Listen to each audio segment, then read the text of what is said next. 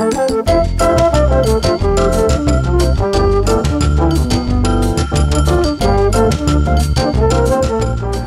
ชำเรือนก็เกิดจากการรวมตัวระหว่างผมกับมีแล้วก็น้องใหม่มาเจอกันนะครับจะกลับมาทำงานที่ที่ตัวเองรักแล้วก็ชอบมาตั้งแต่ตอนนี้ก็เหมือนทุกคนก็รู้สึกว่าเอออยากจะกลับมาจับดินอยากกลับมาปั้นดินกันใหม่นะครับสุดท้ายก็ตั้งเป็น ตูดิโอชำเรือนเล็กๆขึ้นมา ที่มาของชื่อชามเลินนะครับ ก็เราคิดมาจากคำไทยคำว่าเจริญในประวัติศาสตร์ครับคำนี้ก็อยู่บนเซอร์วิเนียที่เป็นเซรามิกในรัชกาลรัชกาลที่ 5 ครับ เรา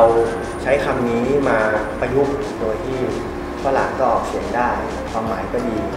ก็ได้คำว่า Charm Learn charm ที่แปลว่าเสน่ห์ครับ แล้วก็ learn ที่แปลว่าเรียนรู้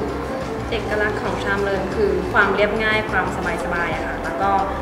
หลีกหนีจากชีวิตวุ่นๆในเมือง พอเข้ามาที่นี่จะรู้สึกว่าทุกอย่างมันช้าลง เข้ามาเจอ street coffee ข้างล่างค่ะ แล้วก็มาเจอการทำงานแบบ craft ที่ใช้มือทำทุกอย่างค่ะมันทำให้เรากลับมาสู่ธรรมชาติ กลับมาสู่ชีวิตที่แบบมันมันสบายๆง่าย ๆ แล้วก็คนที่เข้ามาก็เป็นเพื่อนๆกันค่ะตอน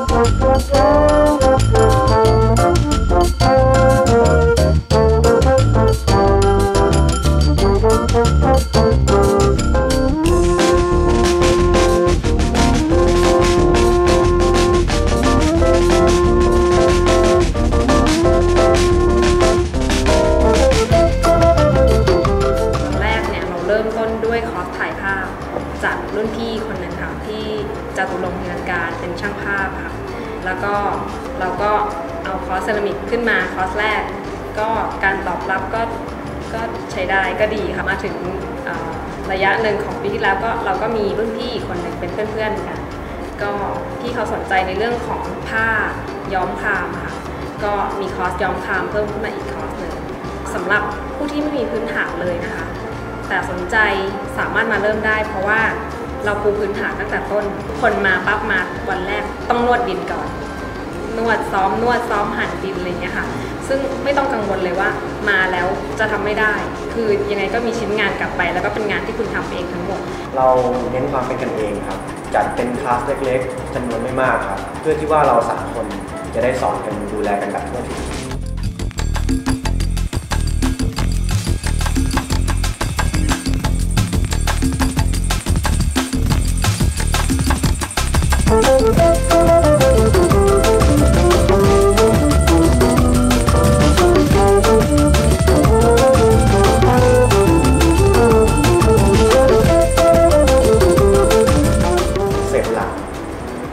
ในการทำคอร์สของเราครับ ก็คือ handmade homemade ก็จะได้ลงมือทำด้วยตัวเอง ได้มี product ของตัวเองกลับไปใช้ที่บ้าน หรือว่าอยู่ที่บ้านก็สามารถนำความรู้ตรงนี้ไปไปต่อยอดได้นะครับได้ความสุขความสุขกลับไป แล้วก็ผ่อนคลายจากวันทำงานนะคะแล้วก็เป็นงานอดิเรกบางท่านก็อยากเอาไปเป็นอาชีพต่อ